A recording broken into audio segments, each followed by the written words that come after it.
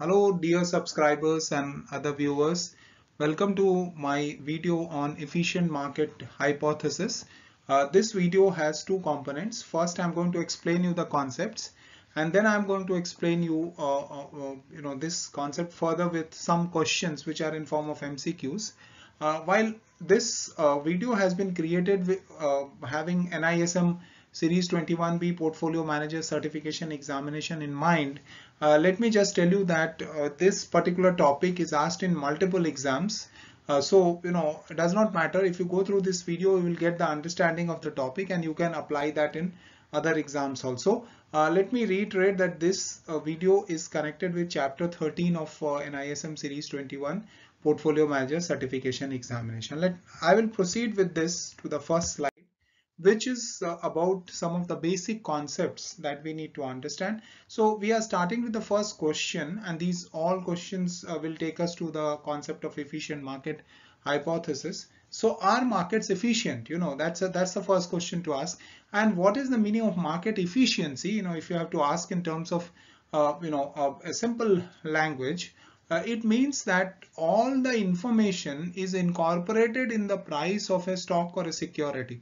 Okay, so that kind of a market is what we call as efficient. But do we have such kind of a market? Uh, and obviously the next question that you see here is linked to that. Does the price of a share reflect all available information about that particular stock? You know, that's that's that's very, very critical. Uh, is there a scope to make money um, uh, and make more money than what investments or the market movements offer? So the point that we are trying to investigate here is that if you are an investor and you have bought say an index fund an index fund is giving 13% return to you or any other index is giving you say 15% or 10% return can you beat that return? That's a very important question to ask. So the idea is to find out can the market be outperformed? Can you generate more returns than uh, you know what market offers? Okay and how realistic is mispricing in the market? That's also a very important question to investigate. Shares can be underpriced overpriced uh, uh, potentially but uh, efficient market hypothesis has its own thought about this mispricing. So we'll try to investigate that also. With this i will move ahead to the next slide which is about the concept of efficient market hypothesis. Okay now this is an hypothesis. We need to understand that very clearly. It's not a theory it's a hypothesis and that's why we know that uh, we need to understand that hypothesis is an assumption, an idea that is proposed for the sake of argument so that it can be tested to see if it might be true. So we are not assuming it to be true. We are not saying that markets are efficient. We are we are having a kind of an hypothesis here and that's what is getting tested you know so we will see that there could be exceptions to this uh, concept of efficient market hypothesis but broadly it may so happen that market would appear as uh, you know efficient but uh, that will be at a later stage. So what is the meaning of efficient market? You know let us go back to that concept again. And Fama who won Nobel Prize in economics has said that you know efficient market hypothesis is a fair game model uh, which states that in an efficient market investors can be confident that the current market price fully reflects all available information about a security. So as an investor, you have to have this, you know, understanding and you can be broadly confident or rather confident that all the information is already incorporated in the price of a security. That's the starting point. But this concept has been further broken up into three forms of efficiency. The first one is the weak form of efficiency. What is weak form of efficiency? Uh, it it you know says that this form of efficiency says that price reflects all the historical information about a stock. So whatever happened in the past the price is reflecting that and all the data points related to history historical information is already captured okay? And that's precisely the reason you know technical analysis does not have much of significance as per this form of efficiency because if you talk to technical analysts they look at the chart they look at the price behavior of the past and try to predict the pattern in future. You know, so that's where this weak form of efficiency, uh, you know, argues that markets are you know, already having those information. So there is no point in using that as a data point. The next uh, and very, very important aspect is the semi-strong form of efficiency. So what does it say? It says that stock prices fully reflect historical as well as publicly available information. So you have historical information, but there could be certain information which may be coming from time to time publicly available information just as news about economy you know some data points related to gdp interest rates which are publicly available information and they are all incorporated including some of the actions that a company may be initiating related to mergers and all that okay so all those information is incorporated as per semi strong form of efficiency and investors who base their decision on information after it is public cannot derive above uh, average risk adjusted return. So as, as an ordinary investor, there's no way that you can you know generate a return which could be higher than the risk adjusted return. That's what it tries to say. And the strong form of efficiency incorporates one more data point with respect to the information and that is the insider information which you know typically uh, people outside the business or the company do not have. But this form of efficiency talks about the fact that stock prices reflect historical publicly available information as well as insider information. Now that's very important because insider information is also there in the price. So there is no way that you can do anything more than what the market is doing and that's why no group of investors should be able to derive above average risk adjusted return uh, from the market. That's what this form of efficiency talks about. Having said this, and having discussed all these forms of efficiency, let us look at the fact that it is not that market always appears to be efficient. There are mispricings that will come across in market. For instance, there was a phenomena called as January effect, uh, which reflected the fact that many investors would sell their shares in December just to book some losses and buy it back in January because December is the year end or the closing of the year in many of the western countries or advanced countries okay so this january effect okay uh, uh, shows that uh, you know investors would uh, underperforming stocks to lock a you know capital loss for the year okay? Thereby reducing their tax bill which causes a temporary dip in the price okay?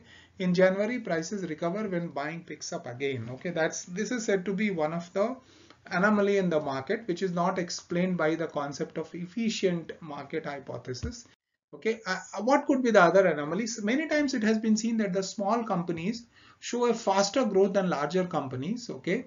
Uh, you know and uh, uh, small firms consistently experience larger risk adjusted return than larger firms. So this this explains the fact that you know you have higher potential rate of return which is there because of the fact that smaller firms may have more growth potentials okay and it is also observed, uh, you know, uh, uh, under many research that stocks with higher book to price okay also have generated superior risk adjusted returns.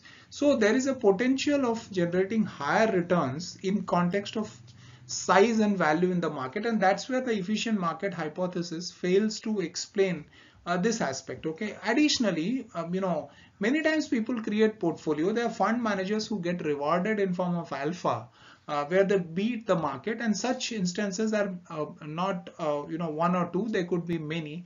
Of course in developed countries you will find uh, less of such incidents but in developing countries you will find more of such in, uh, you know incidents or some more of such uh, you know cases happening where fund managers have consistently outperformed the market. So do you do have some kind of you know exception to this which is there in case of uh, what you call as efficient market hypothesis. Having said this, let me move to the uh, next uh, part of the video, which is about quiz.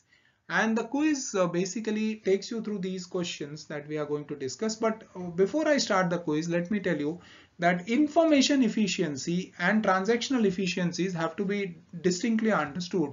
Information efficiency is what we have just spoken about Transactional efficiency comes in form of cost and other factors. Okay. Having said this, let me move to the first question, which is about which of the following is true about the concept of efficient market. So you have four options. You can very clearly see efficient market is one in which the transaction cost is zero. As I said, this is transactional efficiency, not information efficiency. So this option is ruled out.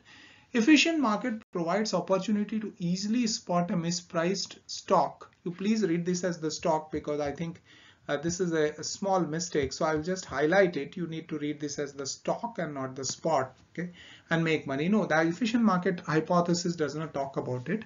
Efficient market is one where the market price is an unbiased estimate of true value of security. Uh, uh, well, this is what we just discussed and that's why this is the answer. Efficient market does not provide risk-free return. So our answer in this case would be C. Okay. Now, having said this, okay, let me move to uh, the question number two, which is about which of the following could be the reason for trades to be done in an efficient market. So if markets are efficient, okay, they're pricing everything, okay, then uh, why could there be need to do the transactions? Why could uh, there be need uh, to do, uh, you know, trades, okay? Uh, so considering this, let us look at the four options that we have here. Need for liquidity, portfolio rebalancing, presence of huge arbitrage opportunity, liquidity and portfolio rebalancing both okay so if you see uh, uh, the need for liquidity could be definitely a reason because if you want to sell your portfolio because you need cash that could be the reason portfolio rebalancing could also be the reason because you could rebalance your portfolio even an index fund because the construct of the index has changed. So the answer to this would be both liquidity and portfolio rebalancing. So that's the D option. We move on to the next one. Which of the below mentioned form of market you know, hypothesis states that prices reflect not just historical and current publicly information but also insider information too. Now this is something which we get in strong form of market efficiency. So the answer for this particular quiz is C. This takes us to question number four. Okay, and it says if a skilled fundamental analyst and insider trader can earn the same long uh, risk adjusted return, what form of market efficiency is likely to apply? So if you are a fundamental analyst and you have access to information okay which is uh, uh, uh, probably not publicly available. Not everybody has got that access.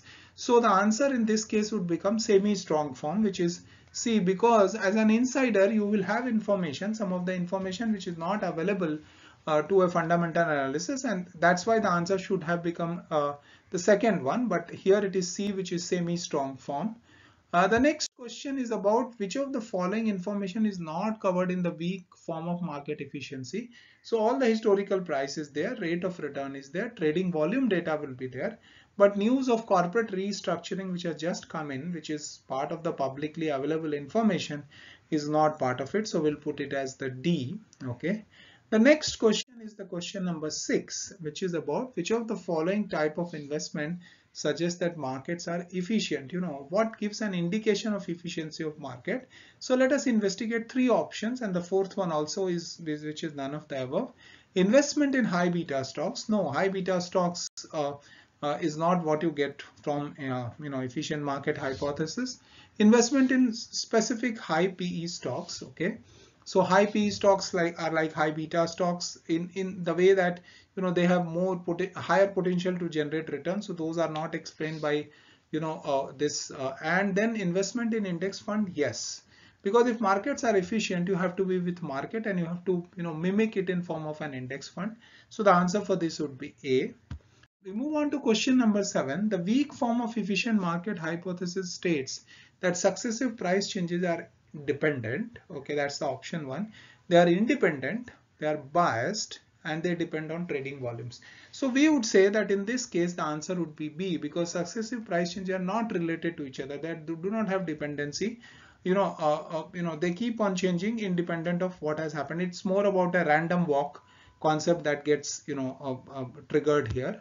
And then finally, stock with high book to price ratio have generated superior risk adjusted return. This uh, statement explains which aspect of efficient market hypothesis, you know. So while it does not explain any aspect of it, uh, the fact is that it does help us understand that markets are not efficient. Okay, because if you have a higher risk adjusted return, then obviously the market would appear to be efficient, right? So these are the eight questions that I wanted to discuss with you before I uh, put an end to this video. So thank you for your time. Thank you for listening to me and you can write to me on healthofmywealth at gmail.com. I will reply uh, you know, suitably after I get uh, X number of questions from my listeners, viewers, and the subscribers. Thank you once again for your valuable time.